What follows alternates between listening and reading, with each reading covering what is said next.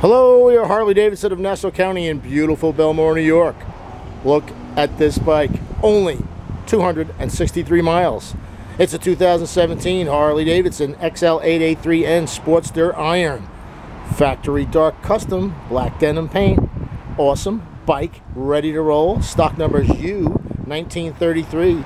Oh my gosh. Doesn't get any better than this.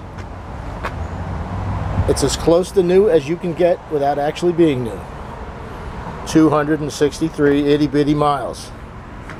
And it could be yours. Come on down and check her out. Sparkling new, brand spanking.